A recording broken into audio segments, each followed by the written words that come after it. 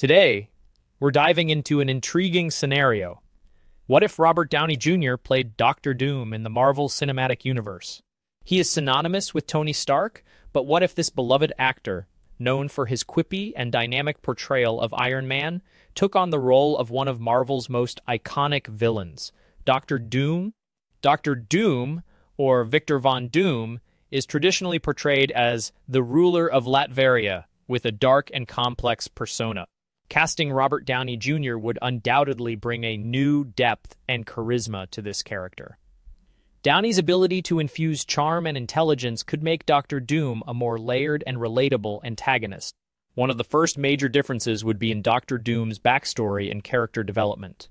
With Downey Jr.'s established rapport with the audience, we could see more of Victor Von Doom's origins, exploring his genius intellect and tragic fall into villainy.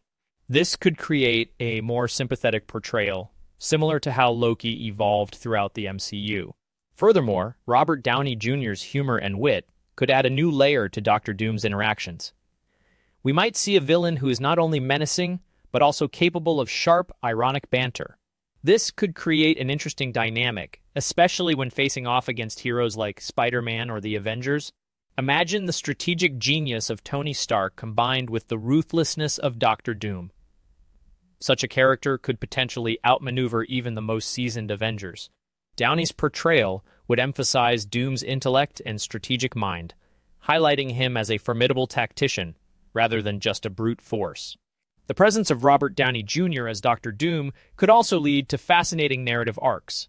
Given his chemistry with the original Avengers, we might see reluctant alliances or deep-seated rivalries revisited in imaginative ways, making the clash even more personal. In conclusion, if Robert Downey Jr. were to play Doctor Doom in the MCU, it would bring a profound and dynamic shift to the character and the broader narrative. His performance would add layers of complexity, making Doctor Doom not just a villain, but a compelling and multi-dimensional character. What do you think of this casting choice? Let us know in the comments.